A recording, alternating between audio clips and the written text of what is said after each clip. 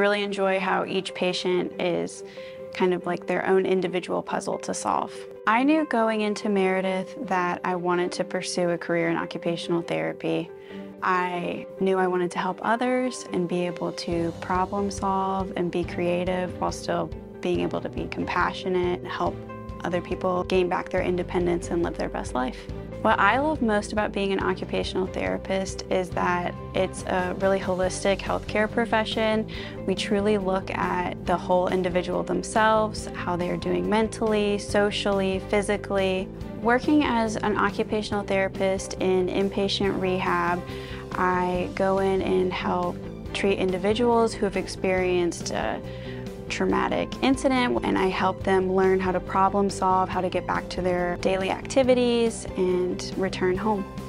Meredith provided me with a really solid foundation. I feel comfortable going into new scenarios and holding my head up high and being able to talk at the same level as my peers. I don't feel intimidated by other individuals very easily and I think that that really sets me apart from other people in the professional world.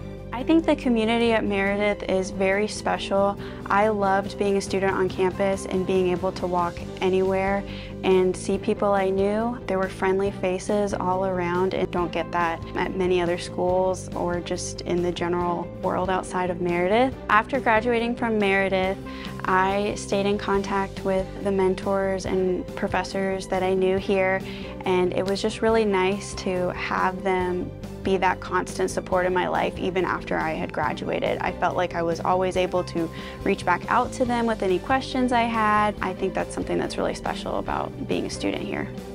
My name is Tori Penna. I'm a member of the class of 2019. I was a double major in biology and psychology. This is me. This is Meredith.